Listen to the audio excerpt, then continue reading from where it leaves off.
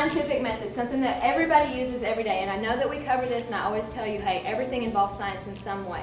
Okay, let's use, for example, when you get sick, or when you come to school and you want to get out of class or whatever. What's the first thing you tell your teacher? Can I go to the nurse? Can I go to the nurse? But what did you observe about yourself? A headache. A headache. Okay, so the first thing you did, or your stomach hurts, is you made an observation. Okay, then what's the next thing you do? You made the observation, you say, hey, I don't feel good. What do you do now? You come up to me and you say, what? Can I go to the nurse? Can I go to the nurse? You're asking a question. Okay, can you go to the nurse? But why do you want to go to the nurse? Because you don't feel You good. don't feel good. But what do you think is causing you not to feel bad? You're maybe You think it might be your head, you think it might be your virus. stomach, maybe you have a virus. So what are those things that we're doing? Uh-huh.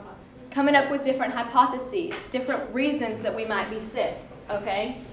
So we're coming up with a hypothesis. But what's the only way we're going to figure out what's wrong with us? We go to the Test it. nurse, If we get experimented on. if we get experimented on. Okay, Sure. go ahead, Andy. Tell me what you mean by We testing. Test it, take her temperature. Yeah. Okay. that. Maybe giving you different medicines and stuff, maybe giving you Pepto-Bismol for your stomach or some Tylenol for your head. You do an experiment, okay?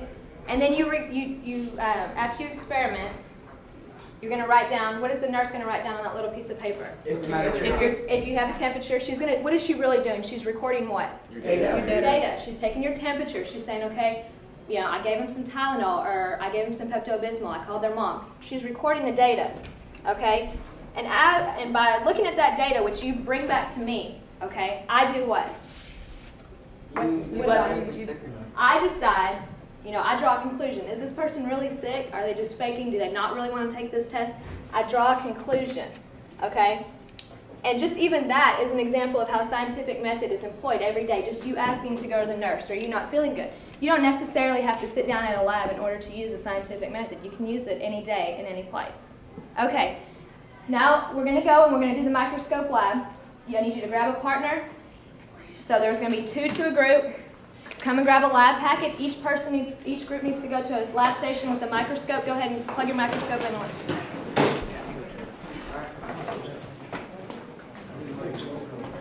My light isn't working.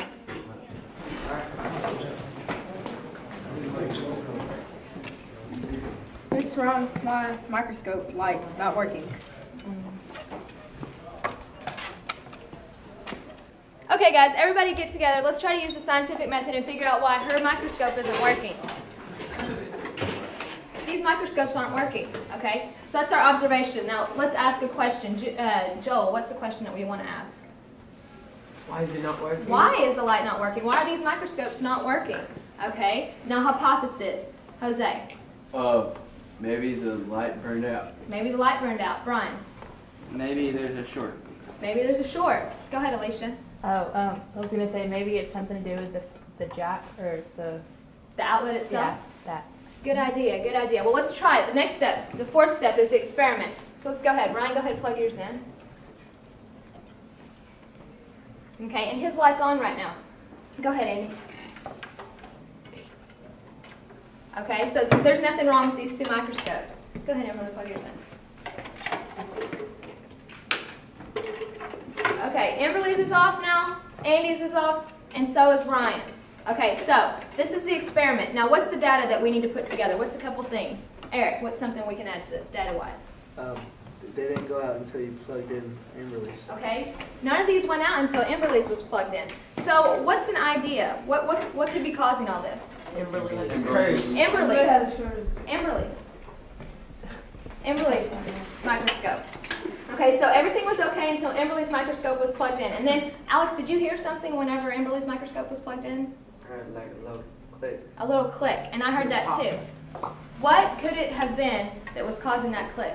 Her watch. Her watch hitting the desk. The watch hitting the desk, okay. What else could it have been, Brian? I don't know. The the microscope itself. The microscope itself? Okay, let's try it again. Go ahead, unplug your microscopes. Okay, I'm going to reset this fuse over here. Now try it again, Ryan. Okay, Ryan's is lighting up now. Andy? Andy's is lighting up. Now, Emberly, go ahead and plug yours in. Oh, Okay, once again, they all shorted out. So, let's talk about this. We have the data. I reset the fuse. Every time Emberly plugs hers in, the rest of these go out. What are we, what's an idea? What can be going on here? Somebody give me some kind of feedback as far as what they think might be happening here. Something that I don't. Something in the outlet? Let's try it on a different outlet. Let's try Emberly's microscope on a different outlet. I'm going to reset this again. Okay, Emberly, go to a different outlet. Okay, so obviously that outlet's working. Emberly, go ahead. Once again, they went out, so we eliminated that option. What else could it be? The wire. Her microscope. Good one, Jose. What might be wrong with her microscope? The wires. The wires. The wires. And uh, upon closer observation, we can actually see that the wires in this microscope are exposed. So they're actually grounding out on the lab station and causing all the lights to go out by flipping that fuse over there. So we use the scientific method by making an observation. Number one, all the lights on this side of the room are out on the microscopes. The second thing we did was ask the question, why are those lights out? Okay, we made a couple hypotheses. One, the light might be burned out in that microscope. Two, it's Emberly. Three, it was the outlet. Four, what else did we say? The microscope itself. Okay? Then we experimented. We tried plugging them in, seeing which ones worked, and every time we plugged Emberly's in, all the other ones went out. Okay, so we obviously narrowed it down to something that had to do with Emberly. We took all that data, we analyzed it in a way by asking more questions. We realized at the end that it was actually Emberly's that had the wires exposed that was causing this fuse down here to flip. And you notice every time that we had to replug in the microscopes, I would flip that switch back, okay? It was the fuse. Her wires being exposed were grounding out that microscope and causing the fuse to flip.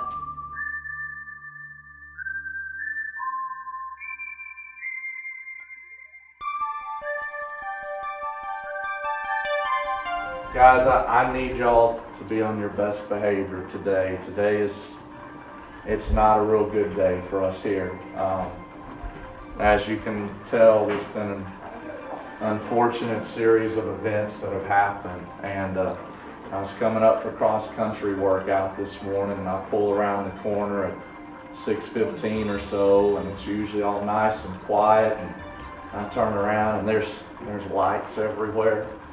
There's police and cars and fire trucks and ambulance. And it's just all over. And I, I didn't know what was going on. And I, I come in here, and sure enough, they're all in my room. And guys, it's crazy. I, I don't know what happened here. Um, the police, they couldn't stick around. They had to, they had to leave.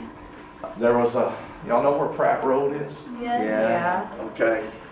They were in the middle of their investigation in Pratt Road. There was a, a squirrel and a cat crossed the road, head-on collision, and piled up, and Pratt Road's just a mess. And so they had to leave. Okay, and uh, they just they just left me with these packets which you have at your desk, and uh, you know they they asked us to try to see what we could do about this. So. Uh, we're we're going to fight through this today. It's a rough day but we got to do the best we can, all right? Um, since the police officers left and they're not around, they put me in charge, okay? They made me a deputy today, all right? Now, do I have anyone that can fight through this and do some reading for me? Yeah. Now, Ivana, could, could you read the police report for me, please? Um, last night, a body of a scientist was discovered laying in the science lab at Red Oak High School at 154 Louise Ritter. The name was being withheld pending notification of the next of kin.